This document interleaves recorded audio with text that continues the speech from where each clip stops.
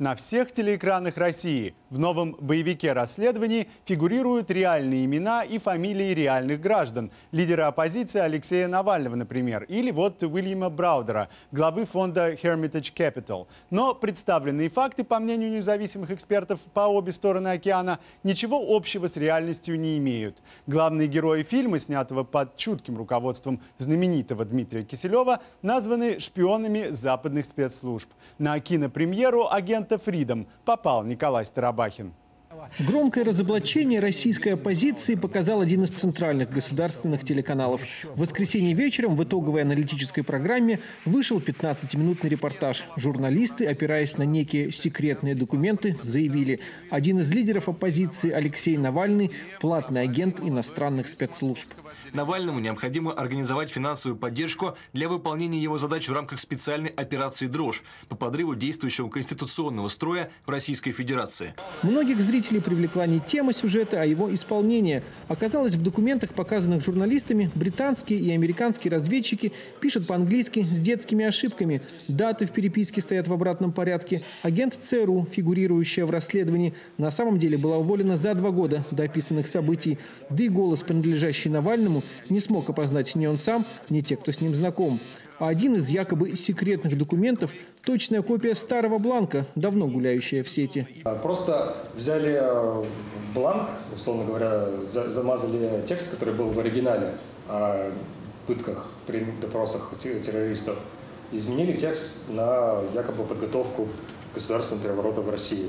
Некоторые из очевидных ошибок авторы фильма исправили буквально через несколько часов после первого эфира. Но и тех, что осталось, хватает с лихвой, чтобы усомниться, а был ли шпион. Впрочем, для журналиста Олега Лурье, одного из экспертов расследования, ответ очевиден. Погрешности, может, и были, но в деталях, а суть бесспорна. Почему никто не разоблачай основной смысл этих документов. Нет, они с этим согласны. Они сообщают, что там буковка не та написана, а надо написать по-другому. То есть опровергните саму суть. Никто не опровергает саму суть. Это само собой подразумевается, что они есть эти документы, что они правдивы. В этом месте непосредственно встретила бригада «Россия-24». Роман Рубанов, директор фонда борьбы с коррупцией, тоже попал в кадр и узнал, что их московский офис, по мнению журналистов, находится в Киеве. Ошибка тетровальщика или намеренный ход привязать еще и украинский след. Такое журналистское расследование сотрудника фонда просто позабавило. Если бы были доказательства на Навального, они были бы гораздо более серьезные, гораздо раньше всплыли бы. Этих доказательств нету ну, просто физически их нет. А остается только придумать, чем занимается, собственно, Дмитрий Киселев и программа «10 недель». И придумывают они, к сожалению, плохо. Настолько плохо, что теперь над ними всеми смеются. Причем смеются даже внутри самой России, России сегодня. Обвинение в фальсификациях с одной стороны, обещание продолжить расследование с другой. После воскресного сюжета анонса полную версию фильма ждали с нетерпением. И те, кто поверил журналистам, и те, у кого их репортаж вызвал улыбку. Но итоговый вариант зрителя скорее разочаровал. Оказалась полная версия всего на 10 минут длиннее, чем показанный фрагмент. Зато в обсуждении после фильма эксперты объяснили, ошибки в именах и в английском языке специальны, так, мол, принято у спецслужб. А к желанию главного героя Алексея Навального подать в суд на своих разоблачителей авторы отнеслись спокойно.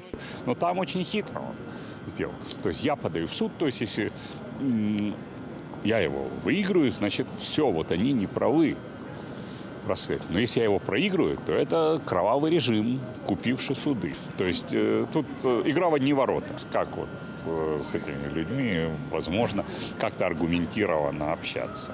Авторы расследования уверены, это оппозиционеры нарушили сразу несколько статей Уголовного кодекса.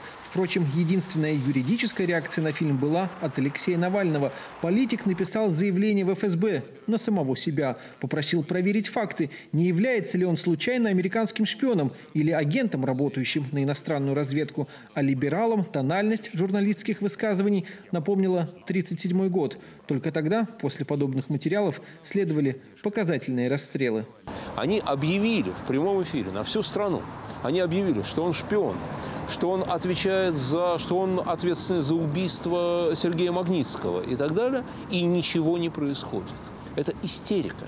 Это истерика, когда они совершенно не понимают, своих реальных возможностей. Они так долго управляли страной с помощью телевизора, что теперь им кажется, что достаточно что-то по телевизору сказать, и это как бы уже случилось. Фильм ВГТРК заканчивается многозначительной фразой «Журналистам попали в руки тысячи документов, и на поверхность всплыли лишь немногие, а значит, возможно, новые разоблачения».